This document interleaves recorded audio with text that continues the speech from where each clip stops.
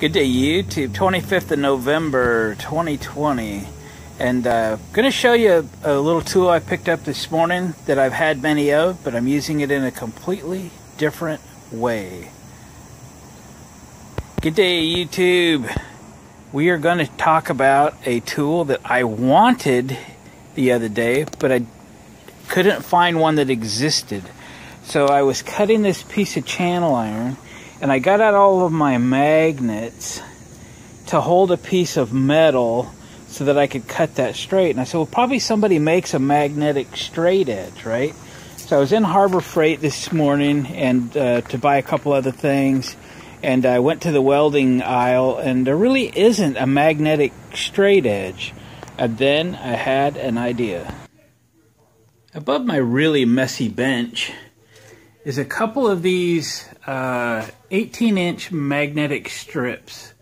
Um, you used to get them real cheap or free or something. Harbor Freight if you bought a bunch of stuff. They're about three bucks, I think, right now. Um, and there's two of these strips. I just keep an assortment of um, bits and tips and things on them just so that they're quick um, to grab. I even have a full set of uh, tips over here that are just stuck there by the magnet. Um, it keeps me going through my drawer because the drawer is scary. There's a million bits and tips and things in here, but they're very, very difficult to get organized. You can buy the kits and all that jazz, but um, the common stuff uh, tends to disappear out of those. I also have one over by my drill press. So I picked up a new one while I was there this morning. I cut the uh, box. So this is what it is. U.S. General 18 inch magnetic holder. I think it was three bucks. If you got a coupon, it'd be uh, two dollars and forty cents. Pretty cheap. I can get it out. So to test it while it was still in the package this morning, I laid this thing up against the the square steel that holds the roof of the building up, and it made a heck of a clang got everybody's attention and I went, yeah, that'll work because it really sticks good.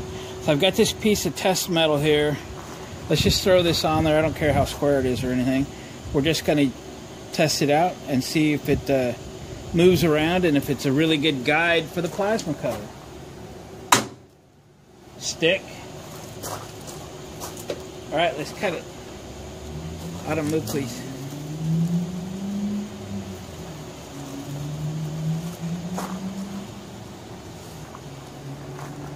Here we go.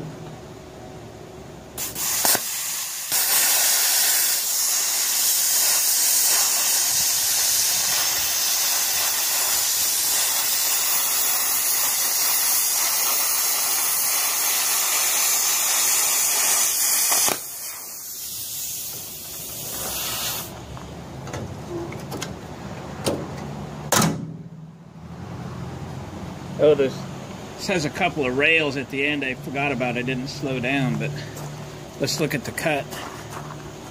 Very nice. It's nice and straight all the way through, except again for those two rails I forgot to slow down for, but very nice. This is the tool, and it's really good magnet that works great. It hardly even put a blemish in it. For cutting with your plasma cutter, that Harbor Freight doesn't even know they have for that purpose.